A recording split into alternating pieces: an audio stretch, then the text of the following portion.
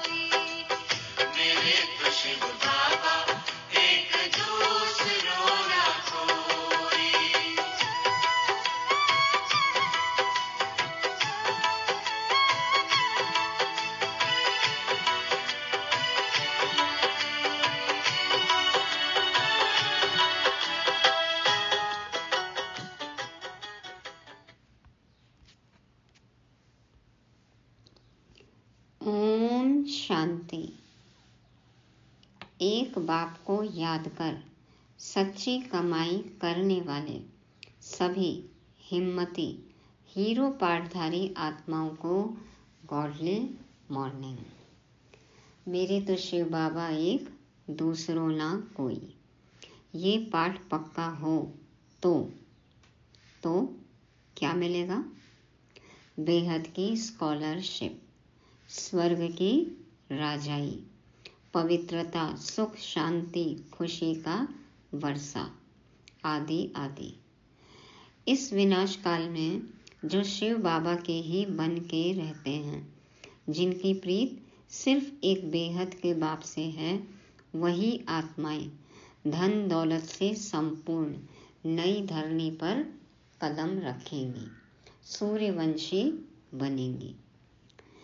सबसे श्रेष्ठ भाग्यवान आत्माएँ कौन हैं और ईश्वरीय लॉटरी कैसे प्राप्त करें? जानने के लिए सुनते हैं 25 सितंबर 2024 की साकार शिव वाणी। मीठे बच्चे, बेहद की स्कॉलरशिप लेनी है तो अभ्यास करो। एक बाप के सिवाय और कोई भी याद न आए। जैसे स्कूल में पढ़ाई पढ़ते हैं स्कॉलरशिप लेनी है तो बार बार प्रैक्टिस करनी पड़ती है, अभ्यास करना पड़ता है, पढ़ाई करनी पड़ती है तो हमारी भी ये क्या है? रूहानी पढ़ाई है। तो इस रूहानी पढ़ाई के प्रैक्टिकल सब्जेक्ट योग में, याद में, यदि हमें सिर्फ़ एक शिव बाबा ही याद रहे तो हमें मिलेगी बेहद की स्कॉलरशिप माना सतयुगी राजाई। तो हमें ज्ञान, योग, धारणा, सेवा सब में हंड्रेड परसेंट मार्क्स चाहिए। तब मिलेगी बेहद की स्कॉलरशिप हम गॉडली स्टूडेंट्स को। प्रश्न है, बाप का बनने के बाद भी यदि खुशी नहीं रहती है तो उसका कारण क्या है? खुशी का सागर हमें मिल गया। उसके बाद में भी यदि खुश नहीं रह पा रहे हम, क्या कारण है? उत्तर में बाबा कहते, पहली बात। बुद्धि में पूरा ज्ञान नहीं रहता। बुद्धि में ज्ञान घूम ही नहीं रहा है। ज्ञान का मनन चिंतन कर ही नहीं रहे हैं तो फिर कैसे खुश रहेंगे? तो पहली बात, बुद्धि में पूरा ज्ञान नहीं रहता। आधा अधूरा ज्ञान है। दूसरा बाप को यथार्थ रीति याद नहीं करते। याद न करने के कारण माया धोखा देती है, इसलिए खुशी नहीं रहती।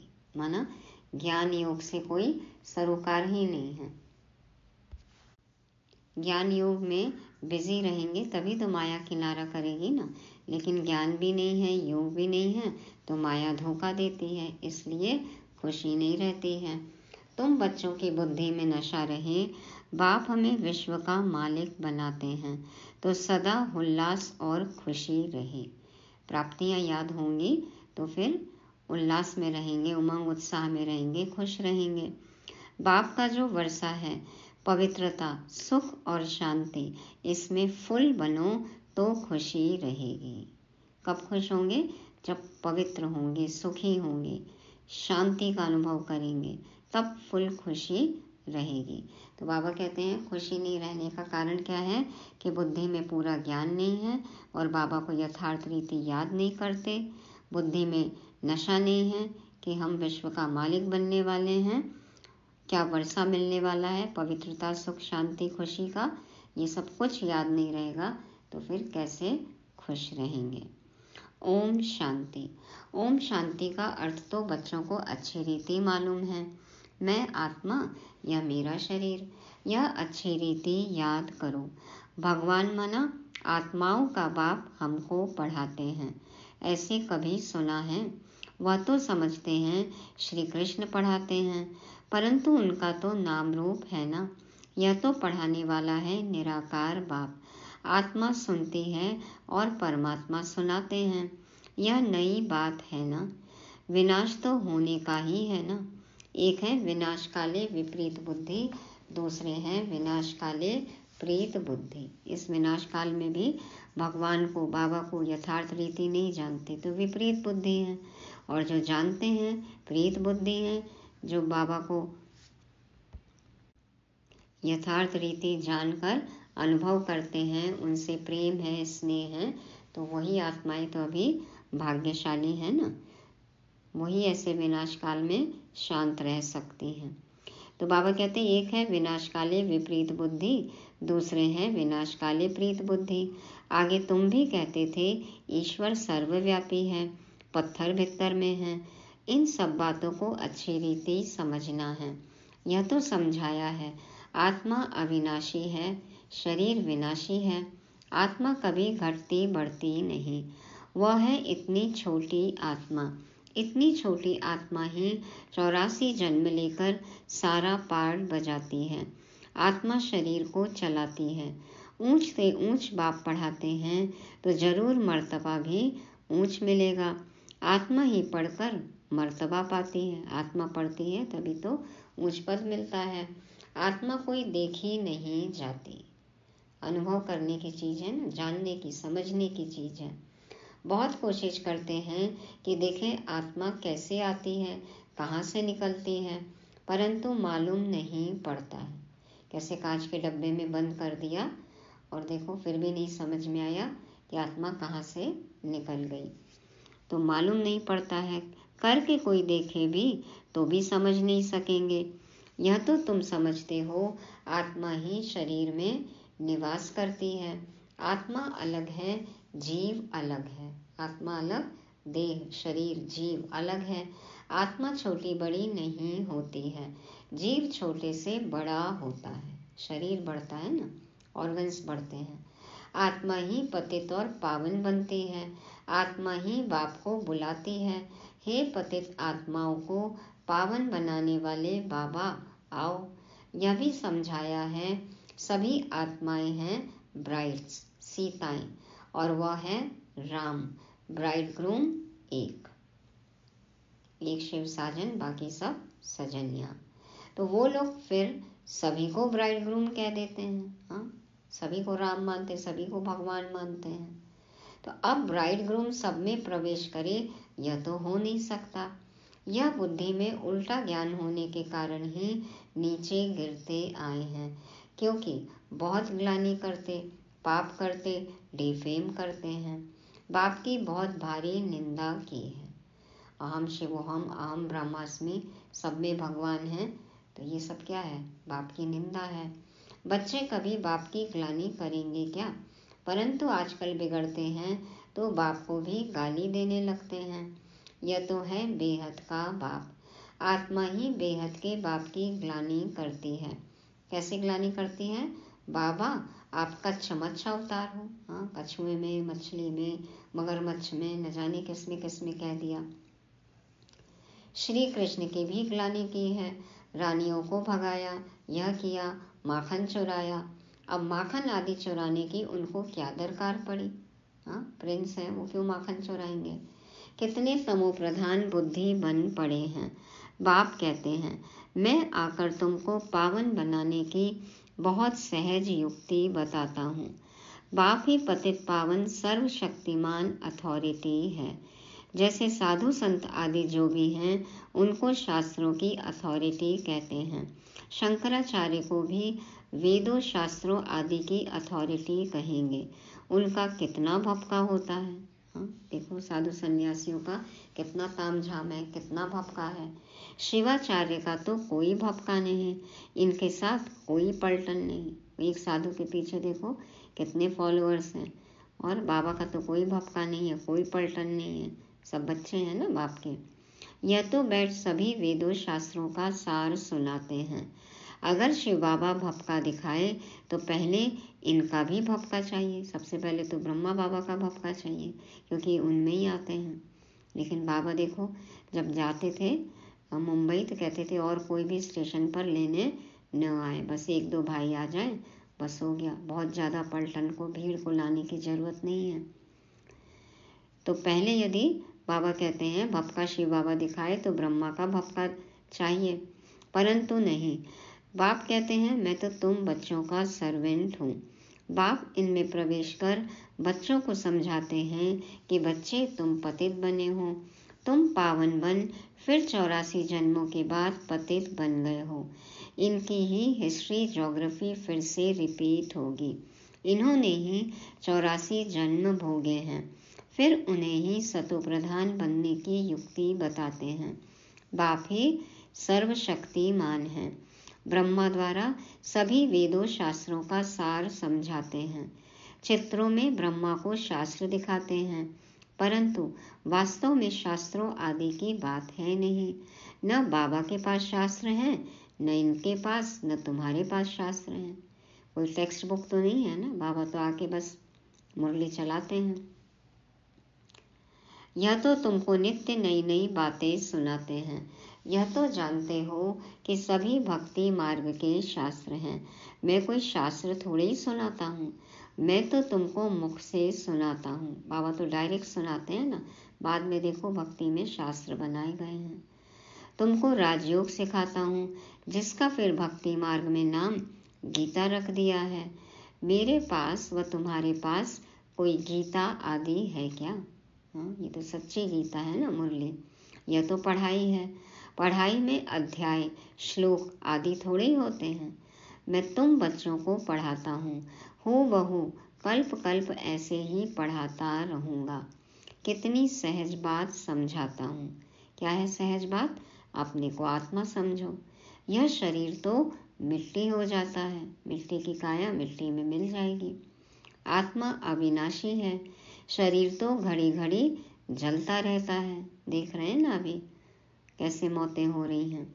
कैसे शरीर सब धुआँ धुआँ हो रहे हैं। बहाया जा रहा है, जलाया जा रहा है, दफनाया जा रहा है। तो आत्मा एक शरीर छोड़ दूसरा लेती है। बाप कहते हैं, मैं तो एक ही बार आता हूँ। शिवरात्रि मनाते भी हैं। वास्तव में होना चाहिए शिव जयंती। परंतु जयंती कहने से माता के गर्भ से जन्म हो जाता है। इसलिए शिवरात्रि कह देते हैं। द्वापर कलयुग की रात्रि में मेरे को ढूंढते हैं। कहते हैं, सर्वव्यापी है। तो तेरे में भी है ना? फिर धक्के क्यों खाते हो? मैं भी भगवान, तू भी भगवान, मुझमें भी भगवान, तुझ में भी भगवान। फिर क्यों घूम रहे सब होकर परेशान? तो बाबा कहते हैं कहते हैं कि सर्वव्यापी है। तो बाबा कहते हैं, फिर तो तुम्हारे में भी है। फिर धक्के क्यों खाते हो? एकदम जैसे देवता से आसुरी संप्रदाय के बन जाते हैं। देवताएँ कभी शराब पीते हैं क्या? वही आत्माएँ फिर गिरी हैं तो शराब आदि पीने लग पड़ी हैं। हाँ, देखो मदिरा पान करने लग गए। बाप कहते हैं अब इस पुरानी दुनिया का विनाश भी ज़रूर होना है। पुरानी दुनिया में है अनेक धर्म नई दुनिया में है एक धर्म। एक से अनेक धर्म हुए हैं फिर एक ज़रूर होना है। मनुष्य तो कह देते कलयुग में अभी चालीस हज़ार वर्ष पड़े हैं। इसको कहा जाता है घोर अंधियारा। अब तो साधु सन्यासी बोल रहे हैं कि अब तो चालीस हज़ार साल नहीं पड़े हैं हाँ? अब इशारा दे रहे हैं कि समय बस अब क्या है? कयामत का समय आ गया। तो बाबा कहते हैं, वो चालीस हज़ार वर्ष जो समझते हैं तो वो बात है घोर अंधियारा। ज्ञान सूर्य प्रगटा, अज्ञान अंधेर विनाश। मनुष्यों में बहुत अज्ञान है। बाप ज्ञान, सूर्य ज्ञान सागर आते हैं तो तुम्हारा भक्ति मार्ग का अज्ञान मिट जाता है। तुम बाप को याद करते करते पवित्र बन जाते हो, खाद निकल जाती है। यह है योग अग्नि। योग अग्नि में बाबा कहते हैं, सब खाद विकर्म भस्म हो जाते हैं। काम अग्नि काला बना देती है। योग अग्नि, अर्थात शिव बाबा की याद गोरा बनाती है फेयर एंड लवली बना देती है। श्री कृष्ण का नाम भी रखा है, श्याम सुंदर। परंतु अर्थ थोड़े ही समझते हैं। बाप आकर अर्थ समझाते हैं। पहले पहले सतयुग में कितने सुंदर हैं। आत्मा पवित्र सुंदर है तो शरीर भी पवित्र सुंदर लेती है। वहाँ कितना धन दौलत सब कुछ नया होता है। फिर धरनी हाँ नई धरनी, क्या होती है फिर? पुरानी होती है। वहाँ पे धन दौलत है, नई धरनी फिर पुरानी होती है। अब इस पुरानी दुनिया का विनाश ज़रूर होना है। खूब तैयारियाँ हो रही हैं, देख रहे हैं ना? सब तरफ़ तैयारी। भारतवासी इतना नहीं समझते हैं, जितना वह समझते हैं कि हम अपने कुल का विनाश कर रहे हैं। विदेश वाले तो समझते हैं ना, यूरोप, अमेरिका वाले हमने क्या क्या सामान तैयार कर रखा है, इससे विनाश ही होगा। कोई प्रेरक है, कहते हैं ना, हम चाहते नहीं है बनाना, लेकिन फिर भी अंदर से ऐसा लगता है कि बनाए कोई तो प्रेरता है। साइंस द्वारा हम अपना ही विनाश लाते हैं, यह भी समझते हैं। क्राइस्ट से तीन हज़ार वर्ष पहले पैराडाइज था, इन गॉड गॉडेस का राज्य था। भारत ही प्राचीन था। इस राजयोग से लक्ष्मी नारायण ऐसे बने थे। वह राजयोग फिर बाप ही सिखला सकते हैं सन्यासी सिखला न सकें। आजकल कितनी ठगी लगी पड़ी है हाँ, कितना झूठ छल कपट ठगी है बाज़ार है पूरा। बाहर में जाकर कहते हैं हम भारत का प्राचीन योग सिखलाते हैं। और फिर कहते हैं अंडा खाओ शराब आदि भल पियो कुछ भी करो। सब खाने पीने की छूट है, सब खा रहे हैं, पी रहे हैं। क्या हाल है देखो। अब वह कैसे राजयोग सिखला सकेंगे? मनुष्य को देवता कैसे बनाएँगे? बाप समझाते हैं, आत्मा कितनी ऊंच है। फिर पुनर्जन्म लेते लेते सतो प्रधान से तमो प्रधान बन जाती है। अब तुम फिर से स्वर्ग की स्थापना कर रहे हो। वहाँ दूसरा कोई धर्म होता ही नहीं। अब बाप कहते हैं, नरक का विनाश तो ज़रूर होना है। यहाँ तक जो आए हैं, वह फिर स्वर्ग में ज़रूर जाएँगे। शिव बाबा तक पहुँच गए तो अब स्वर्ग में ज़रूर जाएँगे। शिव बाबा का थोड़ा भी ज्ञान सुना तो स्वर्ग में जाएँगे ज़रूर। फिर जितना पढ़ेंगे, बाप को याद करेंगे, उतना ऊंच पद पाएँगे।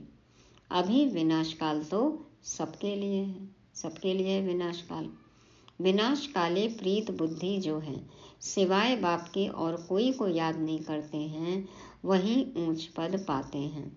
इसको कहा जाता है बेहद की स्कॉलरशिप इसमें तो रेस करनी चाहिए। लिमिटेड सीट्स है ना तो रेस होनी चाहिए बेहद की स्कॉलरशिप के लिए।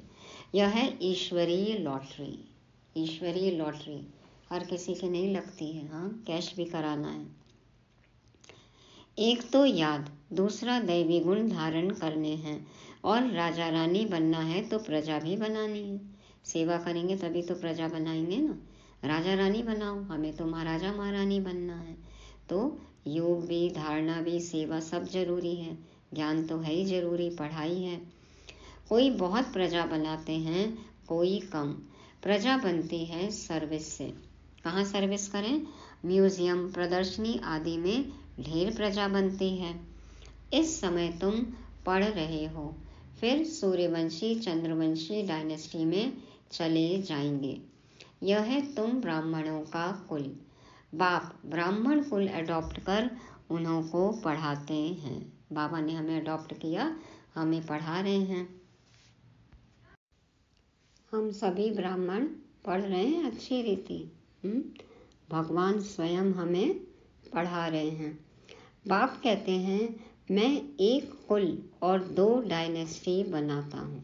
एक कुल और दो डायनेस्टी। ब्राह्मण कुल और सूर्यवंशी और चंद्रवंशी, ये डायनेस्टी।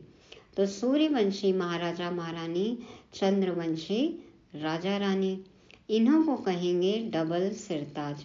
फिर बाद में जब विकारी राजाएँ होते हैं तो उनको लाइट का ताज नहीं होता। पवित्रता का ताज नहीं है द्वापर के राजाओं में। उन डबल ताज वालों के मंदिर बनाकर उनको पूजते हैं। देवी देवताओं की मूर्तियाँ देखो, रखते हैं अपने महलों में, पूजते हैं। पवित्र के आगे माथा टेकते हैं। सतयुग में यह बातें होती नहीं। वह है ही पावन दुनिया, वहाँ पतित होते नहीं। उसको कहा जाता है सुख धाम वाइसलेस वर्ल्ड। इसको कहा जाता है विशेष वर्ल्ड एक भी पावन नहीं। इस विकारी दुनिया में एक भी पावन नहीं। सन्यासी घर बार छोड़ भागते हैं। राजा गोपीचंद का भी मिसाल है ना? हम्म, देखो सब कुछ राज पाठ होते हुए भी सब कुछ छोड़ दिया। तुम जानते हो कोई भी मनुष्य एक दो को गति सदगति दे नहीं सकते हैं। सर्व का सदगति दाता मैं ही हूँ। मैं आकर सबको पावन बनाता हूँ। एक तो पवित्र बन शांति धाम चले जाएँगे और दूसरे पवित्र बन सुख धाम में जाएँगे। यह है अपवित्र दुख धाम सतयुग में बीमारी आदि कुछ भी होती नहीं। अभी तो देख ही रहे हैं तरह तरह की बीमारियाँ हैं। तुम उस सुख धाम के मालिक थे। फिर रावण राज्य में दुख धाम के मालिक बने हो। बाप कहते हैं, कल्प कल्प, तुम मेरी श्रीमत पर स्वर्ग स्थापन करते हो, नई दुनिया का राज्य लेते हो, फिर पतित नरकवासी बनते हो, देवताएँ ही फिर विकारी बन जाते हैं, वाम मार्ग में गिरते हैं। हम ही देवी देवता देखो कैसे विकारी बन गए। वाम मार्ग में चले गए, उल्टे रास्ते चले गए, गिर गए।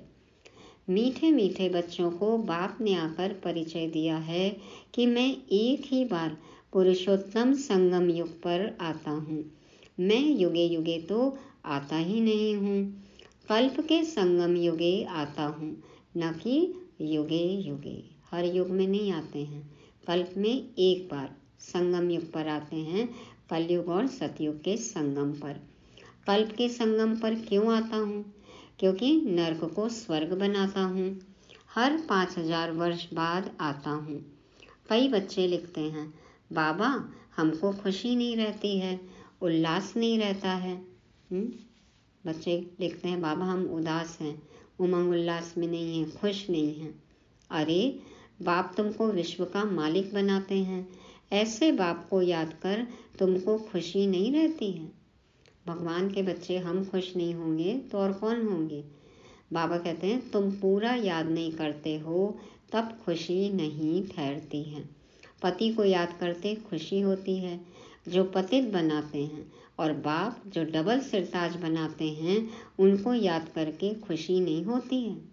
लौकिक साजन को याद करके खुशी होती है, जबकि वो गिराते हैं, पतित बनाते हैं, और शिव साजन हमें डबल सिरताज बनाते हैं तो उनकी याद से हम खुश क्यों नहीं होते हैं? अब जवाब दो बाबा को सब। बाप के बच्चे बने हों, फिर भी कहते हो खुशी नहीं खुशी के सागर के संतान हैं हम सब। हाँ? सिर्फ़ डुबकी मार के निकल जाते हैं? बाबा कहते हैं ना, समाये रहना है। तब खुश होंगे। तब खुश रहेंगे। पूरा ज्ञान बुद्धि में नहीं है। याद नहीं करते हो, इसलिए माया धोखा देती है। बच्चों को कितना अच्छी रीति समझाते हैं कल्प कल्प समझाते हैं। आत्माएँ जो पत्थर बुद्धि बन पड़ी हैं, उनको पारस बुद्धि बनाता हूँ। नॉलेजफुल बाप ही आकर नॉलेज देते हैं। वह हर बात में फुल है। बाबा हर बात में फुल है। प्योरिटी में फुल, प्यार में फुल, ज्ञान का सागर, सुख का सागर, प्यार का सागर, है ना? ऐसे बाप से तुमको यह वर्षा मिलता है। ऐसा बनने के लिए ही तुम आते हो। हम्म, बाबा फुल है और हम दो बूंद में ही खुश हो जाते हैं। बाबा सागर और हम दो बूंद में ही तृप्त हो जाते हैं। तो बाबा कहते हैं कि ऐसे बाप से तुमको यह वर्षा मिलता है ऐसा बनने के लिए ही तुम आते हो। बाकी वह सत्संग आदि तो सब हैं भक्ति मार्ग के उनमें एम ऑब्जेक्ट कुछ भी है नहीं। इसको तो गीता पाठशाला कहा जाता है। वेद पाठशाला नहीं होती। गीता से नरसे नारायण बनते हो। ज़रूर बाप ही बनाएँगे ना। मनुष्य मनुष्य को देवता बना न सके। बाप बार बार बच्चों को समझाते हैं। बच्चे अपने को आत्मा समझो। तुम कोई देह थोड़े ही हो। हुँ? बाबा याद दिलाते हैं, तुम आत्मा हो देह नहीं हूँ। आत्मा कहती है, मैं एक देह छोड़ दूसरी लेती हूँ। आत्मा ही कहती है कि मैं एक शरीर छोड़ दूसरा लेती हूँ। अच्छा। मीठे मीठे सिकी लदे बच्चों प्रति माता पिता बाप दादा का याद प्यार और गुड मॉर्निंग। रूहानी बाप के रूहानी बच्चों को नमस्ते। हम रूहानी बच्चों की रूहानी बाप दादा को याद प्यार, गुड मॉर्निंग और नमस्ते। शुक्रिया बाबा, शुक्रिया। धारणा के लिए मुख्य सार, पहला पॉइंट जैसे शिव बाबा का कोई भपका नहीं सर्वेंट बन बच्चों को पढ़ाने के लिए आए हैं। ऐसे बाप समान अथॉरिटी होते हुए भी निरंकारी रहना है। पावन बनकर पावन बनाने की सेवा करनी है। हाँ इतनी अथॉरिटी होने के बाद में भी इतना निरंकारी। प्रैक्टिकल लाइफ में क्या हम बाप समान ऐसे बन सकते हैं? दूसरा पॉइंट है। विनाश काल के समय ईश्वरीय लॉटरी लेने के लिए प्रीत बुद्धि बन, याद में रहने व दैवी गुणों को धारण करने की रेस करनी है। वरदान है, शुद्ध संकल्पों के घेराव द्वारा सेफ्टी का अनुभव करने और कराने वाले शक्तिशाली आत्मा भव। शुद्ध संकल्पों के घेराव द्वारा सेफ्टी का अनुभव करने और कराने वाले शक्तिशाली आत्मा भव। बाप दादा समझाते हैं, शक्तिशाली आत्मा वह है जो दृढ़ता की शक्ति द्वारा सेकंड से भी कम समय में व्यर्थ को समाप्त कर दे।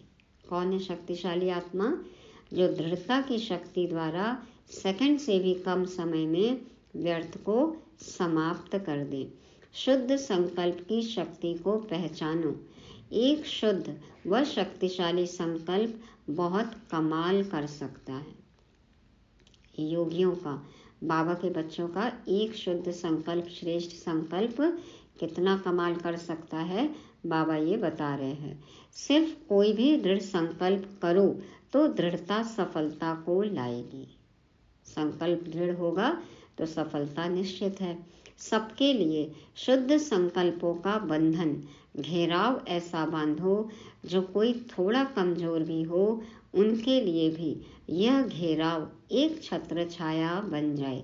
सेफ्टी का साधन व किला बन जाए। किसी के लिए एक शुद्ध श्रेष्ठ संकल्प करो। कोई कमज़ोर आत्मा है, बाबा कहते हैं, उनको अपने संकल्पों से सेफ्टी का, सहयोग का, छत्र छाया का अनुभव कराओ कि उस आत्मा में भी बल भर जाए। तो हमारे संकल्प देखो, सभी की सेफ्टी का साधन है, किला है। स्लोगन, सबसे श्रेष्ठ भाग्य उनका है, जिन्हें डायरेक्ट भगवान द्वारा पालना, पढ़ाई और श्रेष्ठ जीवन की श्रीमत मिलती है। बाप टीचर और सतगुरु तो सबसे श्रेष्ठ भाग्य उनका है, जिन्हें डायरेक्ट भगवान द्वारा पालना, पढ़ाई और श्रेष्ठ जीवन की श्रीमत मिलती है। तो ये थी आज की मुरली। कौन है हम? हम कौन हैं? क्या याद रखेंगे? पहली बात, बेहद की स्कॉलरशिप प्राप्त करने वाले गॉडली स्टूडेंट्स दूसरी बात विनाशकाले प्रीत बुद्धिवान आत्माएँ। विनाश काल में हमारी बुद्धि किसकी तरफ़ है? हमारी प्रीत किससे है? बाबा से। ऐसी आत्माएँ हैं हम। तीसरा पॉइंट बाप समान निरहंकारी बच्चे।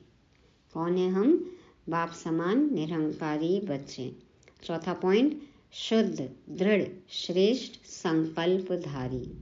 और पांचवी बात डायरेक्ट भगवान द्वारा पालना प्राप्त करने वाले हम श्रेष्ठ ब्राह्मण हैं।